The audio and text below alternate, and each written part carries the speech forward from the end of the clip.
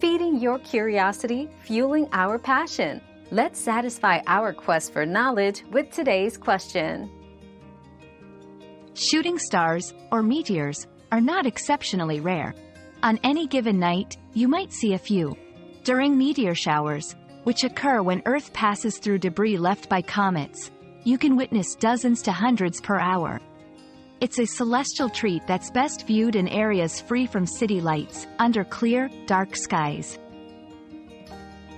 We've quenched today's curiosity, but there's always more to learn. Keep the curiosity alive by subscribing and joining us for our next adventure.